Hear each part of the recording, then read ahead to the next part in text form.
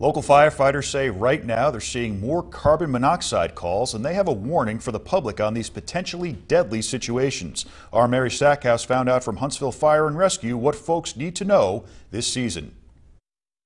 The biggest thing is that people need to be aware of is that uh, carbon monoxide, it's deadly. Captain Frank McKenzie says right now Huntsville Fire and Rescue is responding to carbon monoxide alarms going off about twice a week. It's dangerous because you can't see it or smell it. That's why McKenzie is urging folks to have a carbon monoxide detector at home. He says to have one in your bedroom at head level and also recommends having one in the hallway and where the main source of heat is in the home. With carbon monoxide, depending on the levels, McKenzie says within minutes you can get very sick, even die. A headache, nausea, um, dizziness.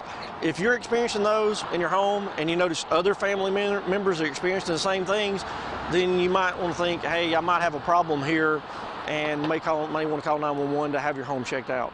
Also, McKenzie says carbon monoxide builds over time. It becomes more dangerous as it accumulates. So, if you suspect that it could be an issue in your home and folks inside are experiencing the symptoms, he says to get out of the house after you've called the fire department. But don't open the windows, don't ventilate it so that the fire department can get an accurate reading.